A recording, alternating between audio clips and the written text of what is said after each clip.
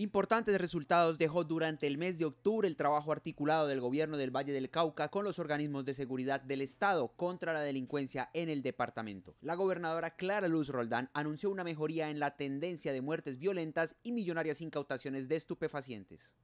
Y la excelente noticia para los vallecaucanos es que ya llevamos 18 municipios sin muertes violentas durante este mes. Eso nos da la posibilidad de pensar que vamos a seguir incrementando el número de municipios y que nuestra fuerza pública está logrando combatir esos índices de delincuencia de nuestro departamento. Tras un consejo de seguridad en el que participaron altos mandos de la fuerza pública y los entes de investigación judicial, la gobernadora destacó los golpes contra las finanzas de las bandas criminales dedicadas al narcotráfico desde la región.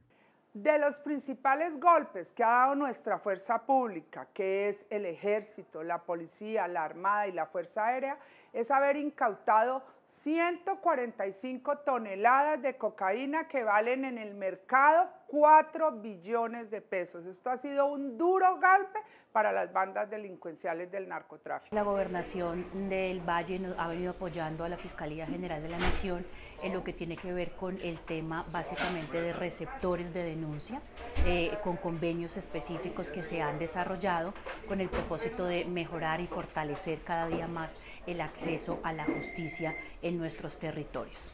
La gobernadora recalcó que desde ya el departamento prepara los dispositivos de seguridad para los primeros Juegos Panamericanos Junior Cali Valle y para la temporada decembrina, en aras de brindarle un fin de año seguro a los vallecaucanos.